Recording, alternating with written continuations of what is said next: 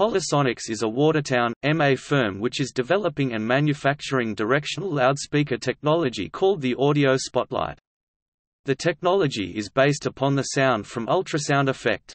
The company's founder is Dr. F. Joseph Pompei, an MIT PhD who at age 16 became the youngest acoustic engineer at Bose Corporation.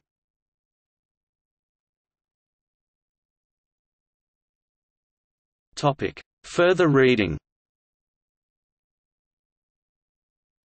Copeland, Darren. The Audio Spotlight in Electroacoustic Performance Spatialization, eContact. 14.4. TES 2011, Toronto Electroacoustic Symposium, Symposium Electroacoustique de Toronto March 2013. Montreal, CEC.